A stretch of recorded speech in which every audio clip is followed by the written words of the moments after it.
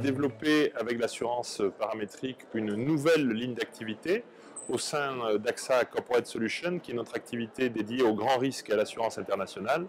C'est une activité que nous développons pour l'ensemble du monde, en ayant euh, réuni des données sur l'ensemble des situations géographiques dans tous les continents, et en collectant chaque semaine, chaque jour, euh, des euh, enregistrements importants en matière à la fois d'images satellites, de température et de précipitation, qui nous permettent ensuite de construire des produits. Dans la science paramétrique, c'est pour nous un sujet d'innovation, c'est un sujet de recherche pour lequel nous avons une équipe dédiée.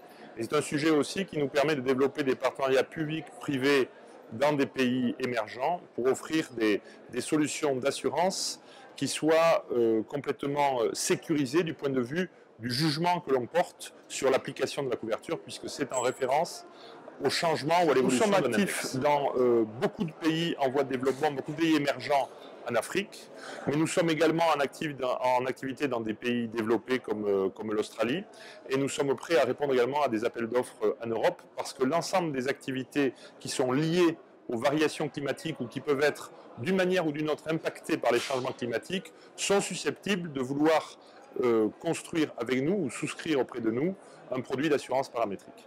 Vous avez dit AXA aujourd'hui mise sur le big data pour l'assurance. Qu'est-ce que ça signifie?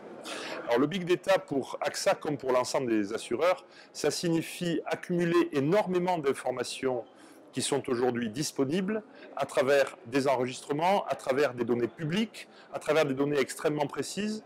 Donc le big data, c'est pour nous la capacité à manipuler, à organiser et à analyser des montants extraordinairement importants, des quantités pardon, extraordinairement importantes de données, de manière à avoir des éléments d'appréciation du risque d'autant plus précis et granulaire que nous avons accès à des historiques de données importants.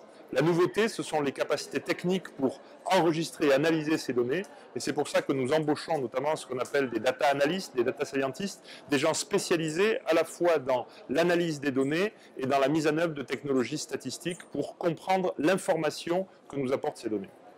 Merci. Dernière question. Est-ce que l'assurance agricole indicielle, est-ce que c'est un domaine... Euh, bah, on peut faire du profit est dans le secteur privé Alors lorsqu'on est dans le secteur privé, toutes les activités que l'on développe ont vocation à être profitables. Je dirais que l'assurance paramétrique est au carrefour de deux motivations chez nous. Être capable d'innover et de proposer de nouveaux produits qui, bien sûr, ont vocation à, dégager une marge technique positive parce que nous aurons été capables d'avoir une appréciation précise du risque et en même temps de fixer un prix qui soit...